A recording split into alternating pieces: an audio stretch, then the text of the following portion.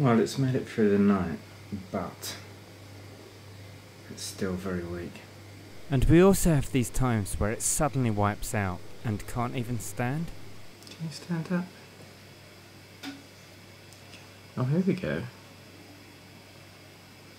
That's not perfect, but that's better. We made it through the night there, so we'll push on. Oh, you're gonna sit in the camera. Please don't poo in there. You ready for your close-up? Mm, still not going to gape, are you? It also always seems to fall to this side, which worries me slightly. Oh, you're making it difficult for me.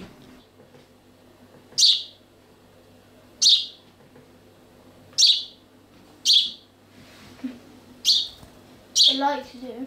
You can fly. Yes, you can.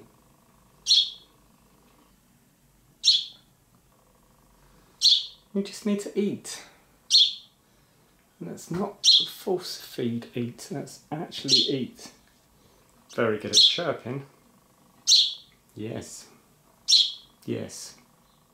Yes. There's these wonderful moments full of energy, flying, chirping, then it just bombs. I've reared baby sparrows before, and they do have a lull after feeding, but this feels different, strange, and just not right. I've had it for 24 hours now. Much stronger, but still not gaping. So yeah, unfortunately we still have to force feed. It's difficult having to force feed a sparrow because their beaks are so, so small. With a thrush or a starling, just open their mouth, pretty much push it in with your finger.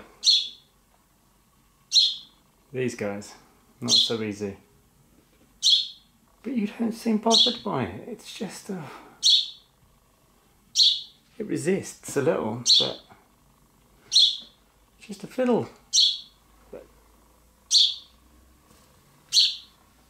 what's this? What's that? Oh. Now that was the best attempt we've had so far. What is it? No, not my finger. What's that? What's that?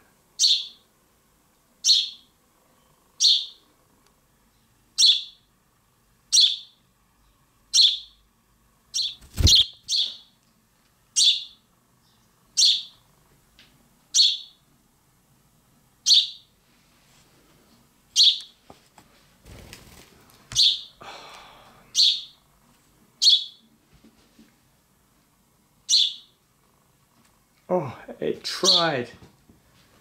It tried to take the food. Had a little peck. You showed a bit of interest, didn't you? Unfortunately, flying onto my head seems to be far more interesting. It's progress. Just not quite as much progress as I'd like. You're getting a couple of random gapes, which is good.